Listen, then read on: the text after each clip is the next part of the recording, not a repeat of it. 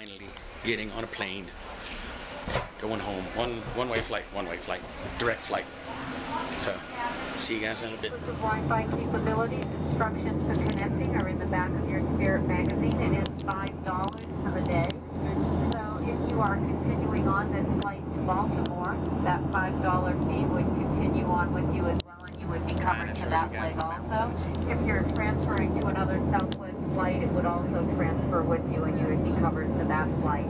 Again, the instructions for that are There's Lake back our Tahoe. Spirit magazine. Folks, if you look above you right now, you will see that fasten seatbelt sign is illuminated. Even though you see the flight attendants getting up and walking Pretty. through the cabin doing our in-flight service, if that fasten seatbelt sign is on, you need to be sitting down, buckled up.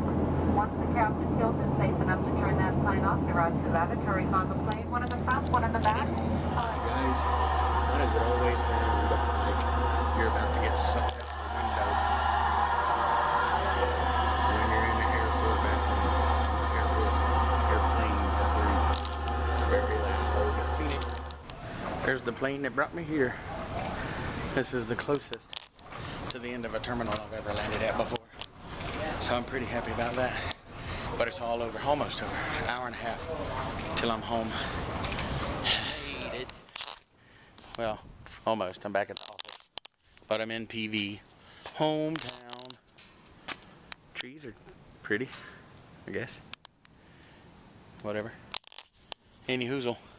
Waiting on the old lady to come pick me up. To hell, man. Yay!